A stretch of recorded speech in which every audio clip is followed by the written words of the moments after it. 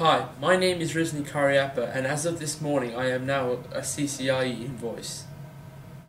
Achieving this goal has been a dream of mine for the past two years. I could not have achieved this without my mum, dad, and little brother's support. My friends and family were there every step of the way, encouraging me to achieve.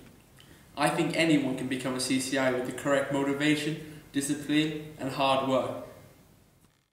Studying at WinNet gave me the training that will be there for the rest of my life. I deeply thank WinNet for all their help and support. I highly recommend WinNet for anyone who wants to become a CCIE. Training at WinNet has given me the confidence to assure myself that I will be an asset to any future employers.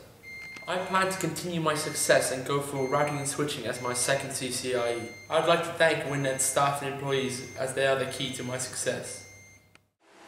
This is the lab where I spent my last two years. This is my voice lab where I practice every day. This is where I spent my last two years.